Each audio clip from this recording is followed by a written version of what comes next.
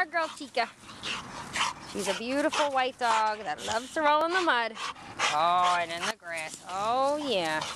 Oh, that's fun. She loves chasing tennis balls. Chica, let's show them. Come here, drop it. Good.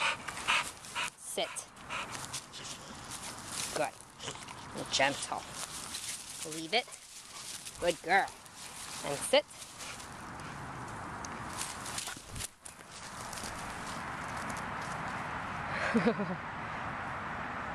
Good girl. Good job, Chica. All right, and drop it. Drop it.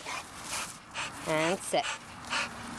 Oh, isn't she gorgeous? Look at that pretty, pretty white dog. Can you catch it? One, two, three. Oh, she can. All right. Good job. Good job. Oh, right over. Where's my belly rub? I want to belly rub and I want to roll in the mud. very, very active dog, as you can guess and you can see.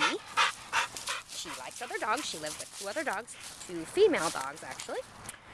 Uh, another young pit bull and a spaniel mix that she lived with and she was given up by her owner when he could not care for them anymore. He lost the home that he was living in with them all and surrendered all three dogs to us.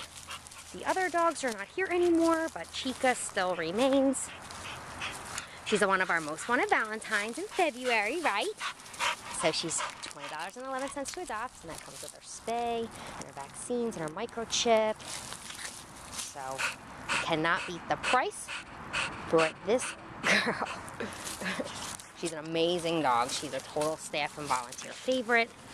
She just, you know, she could definitely use a home with a runner or somebody that's more active. So, she's got some energy to burn.